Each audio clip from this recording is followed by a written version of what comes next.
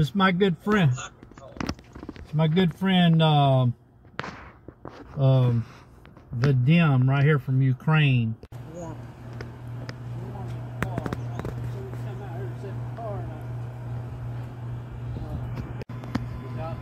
Дед купил новую машину за 4,5 тысячи. Джип на газу. You get frustrated when you can't figure something out or change something, right? That creates frustration. One thing I learned from uh, Dr. Phil that, that I always go back to is that, uh, you know, after working on it for a week, I might would get frustrated because I can't figure it out. And then I would get kind of angry over it.